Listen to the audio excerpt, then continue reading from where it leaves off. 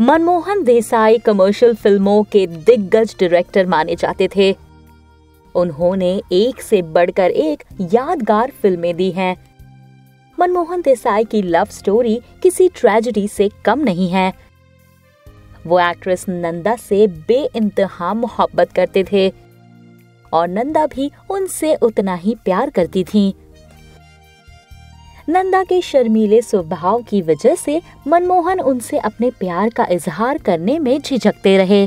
कुछ समय बाद मनमोहन देसाई ने जीवन प्रभा देसाई से शादी कर ली।